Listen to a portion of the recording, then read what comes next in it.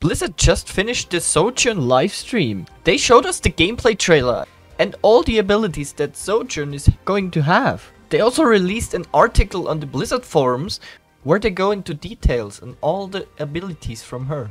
First we're gonna start with the railgun. Yes, Sojourn has a railgun, we already knew that, but now we can see how it actually works. So her primary fire is a rapid firing projectiles that generate energy on impact. So that means you generate energy that you can actually see on screen like we see for Zarya as well. But it also charges up if you don't even hit any enemies. And with that charge you can make a secondary fire shot. That means it makes a high impact shot that consumes stored energy. Sadly we don't know the stats of her gun, so how much damage she makes and her secondary fire or all that shit. I have no clue, but it's probably going to be strong enough to be a DPS hero, so yeah, be prepared for that.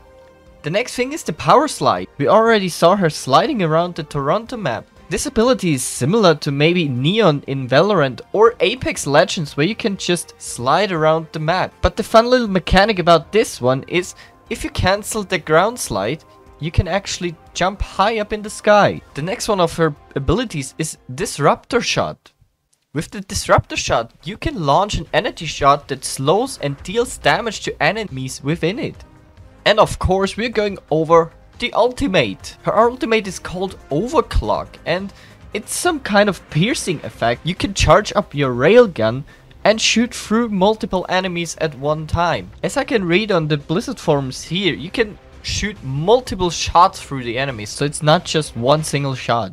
I already know how many of the Overwatch community will be reacting to this. Many of them will say, oh my god, this hero is way too OP. That was like with every single hero that Blizzard released. So yeah, don't expect anything. We don't know the stats, we don't know anything. And if she's too strong, they probably gonna nerf her in the beta. So yeah, I'm very curious to play her finally.